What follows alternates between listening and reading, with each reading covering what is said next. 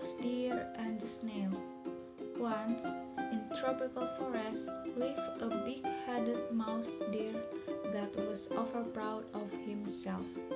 When, he was walking around and puffing out his chest, a little snail greeted him. Hi, my dear, hi, my dear friend Mouse Deer. How are you today? It seems you look so happy today. Oh, hi, little snail. Of course, I'm happy.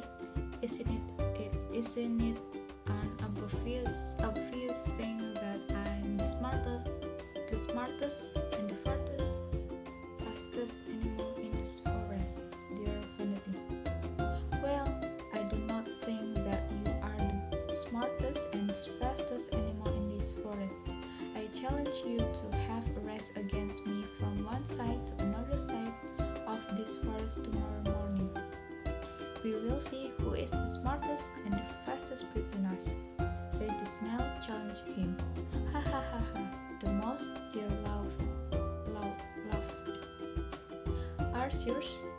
Do you think you can beat me on the race? said the deer under underestimate him. However,